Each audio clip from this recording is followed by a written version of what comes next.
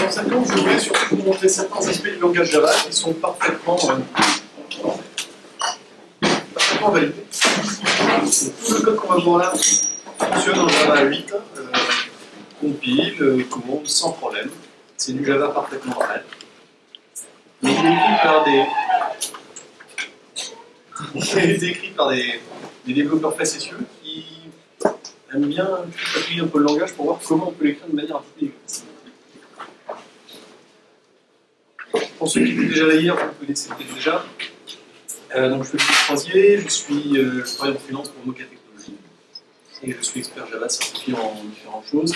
Vous connaissez peut-être plus précisément via mon blog The Coders Breakfast, où vous les cours que j'ai animés dans le blog trouver des. Je vous le slide à la fin si vous voulez.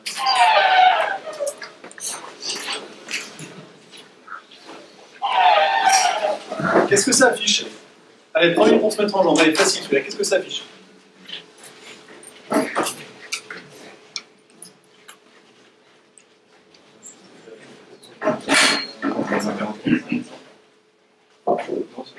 Ça affiche 155. Bon, allez, celui-là, grand classique. Ça, c'est pas elle.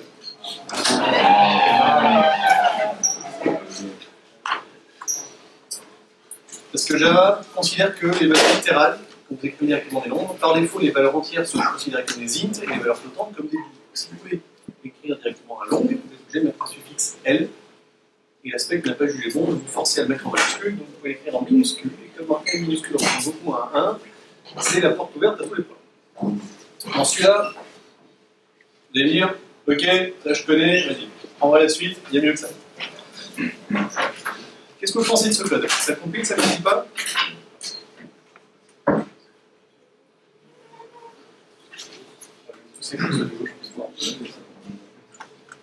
Qui dit que ça ne compile pas? En fait, ça compile parfaitement, puisque cette ligne-là, en fait, c'est deux labels. Si est un label, HTTP est un label, ça c'est un commentaire. Vous savez, les labels qui vous permettent de sortir des bouts. Et oui, vous pouvez très bien écrire ça directement dans votre code. Alors ça risque de surprendre un peu vos collègues, mais c'est. Ouais, bon, c'est connu aussi, c'est dans, c'est dans Java Epica.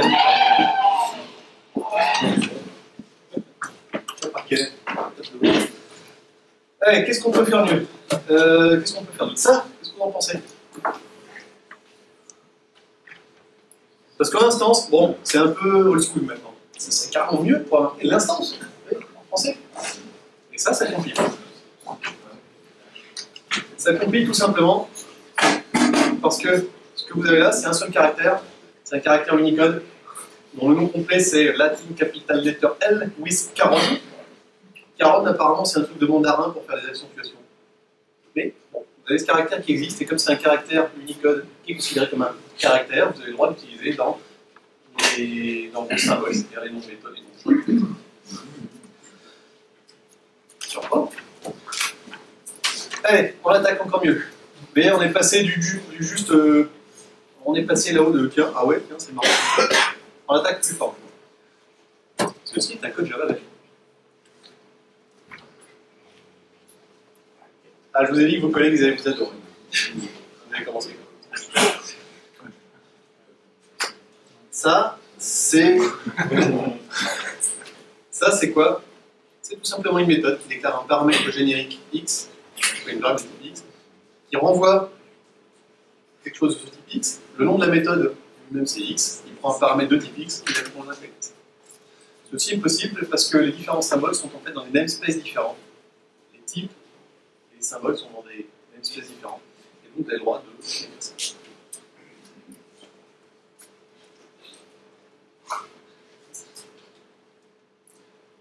ça. Ah, a le droit d'écrire ça aussi. Qu'est-ce que c'est que cette expression?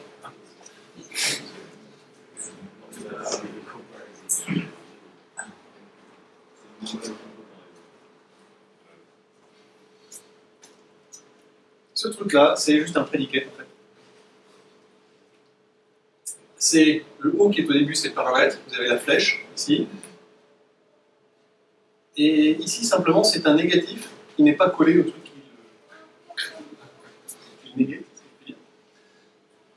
si vous êtes un point de facétieux, vous pouvez écrire ça. C'est bon? Non. D'ailleurs, c'est un langage concis. Ceux qui font du Scala, ne peuvent pas me dire que ça, c'est pas concis. On arrive presque du Scala. Bon, forcément, ça surprend un peu vos collègues, surtout ceux qui attaquent juste Java. Ah, ça, c'est beau aussi.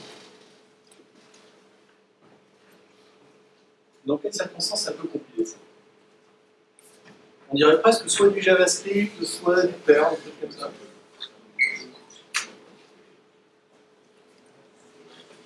Qu'est-ce que vous en pensez?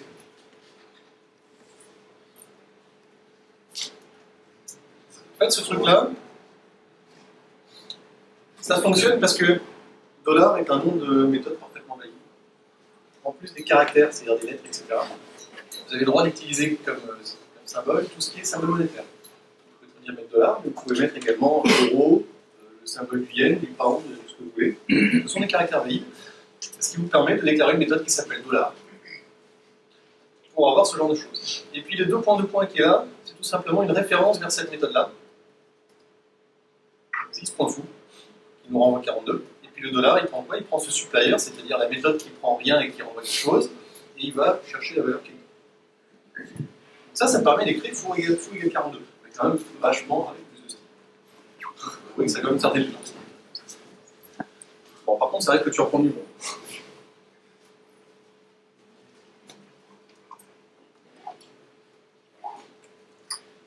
Ah.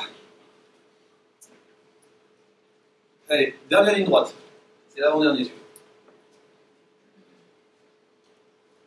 Il y a un truc qui vous surprend un peu dans ce dans ce code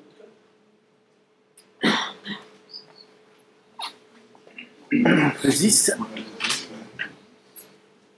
Et là, c'est pas un bout de code que je vous ai masqué quelque part. Non, l'intégralité de la classe Polo. Ça fonctionne, ça compile. ça. Est-ce que quelqu'un sait pourquoi? Non.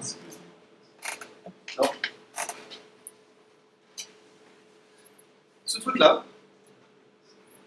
qui vous surprend à plusieurs titres, parce que, un, il n'apparaît pas on appelle la méthode E2, qui s'appelle ZIS. C'est. Ce truc-là, c'est ce qu'on appelle le receiver type. Soit on dit une méthode a le droit d'accepter en paramètre une référence sur l'instance sur laquelle la méthode est appelée. Si vous avez une Python, c'est l'équivalent du self. C'est apparu en Java 8. Pourquoi c'est apparu en Java 8 Parce que ça permet de poser des annotations. Comme il n'y avait aucun moyen de poser une annotation avant sur l'instance courante sur laquelle on appelait des méthodes, ils ont inventé ce système de receiver type, qui est en fait implicite dans toutes les méthodes, qui peut être rendu explicite. Ce paramètre apparaît donc dans le code, mais vous n'avez pas besoin de le préciser, puisque quand vous appelez une méthode sur une instance, implicitement, c'est cette instance-là qui va servir de receiver. Pour que ce soit un vrai receiver type, il faut que ce soit le premier paramètre de paramètres, que ce qui soit du même type que la classe augmente, que ce soit évidemment sur une méthode d'instance et pas une méthode set, et qu'il soit nommé ZIS. Euh, donc ça permet de, donc, de mettre des notations et ça sert uniquement à l'analyse statique. Euh, Dans votre code à vous, ça pas. Parce que de toute façon, si vous avez ZIS pour quelque chose, que ce soit le receiver type ou le ZIS, vous connaissez ZIS, c'est la même chose. Ça, ça fera plaisir à Sonar, euh, de la salle, qui est en train de cette tête-là un peu. Est-ce que j'ai couvert ce cas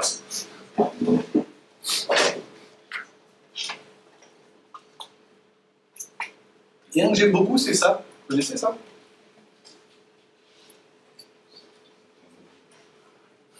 Ça, ça marche depuis Java 5. Est-ce que vous arrivez à savoir ce qui se passe ce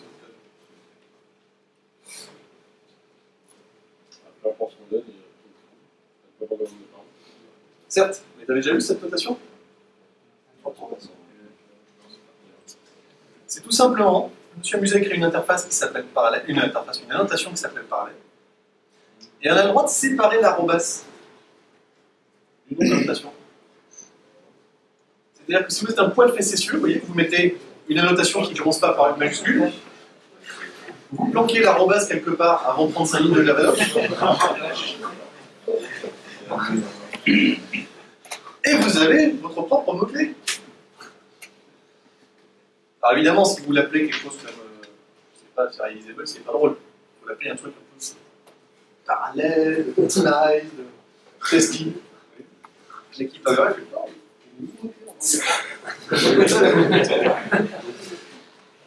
Et vous pouvez jouer à ça comme vous voulez, hein, parce que vous pouvez mettre plusieurs arrobas pour mettre. Ah non, ça marche pas, parce que non, parce qu'il faudrait recoller entre vous voyez, mon arrobas, il est là-haut. Il est caché. Si vous aviez besoin d'une bonne occasion pour mettre beaucoup de Javadoc,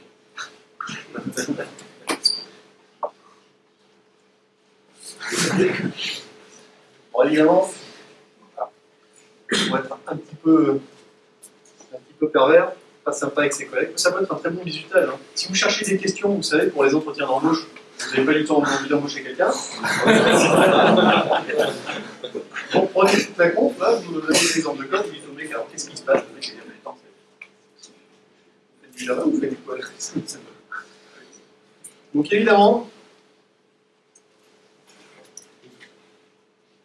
hein, ces cascades grammaticales ont été faites par un professionnel. Ne reproduisez pas ça dans votre code de prod, sauf si vous voulez vous rendre indispensable. Et donc voilà, vous pouvez me retrouver, je vous ai remis ici. Si vous voulez suivre les aventures de Java dans le merveilleux monde des trucs tordus, vous pouvez me retrouver ici. Et je vous laisse. Si vous avez des questions.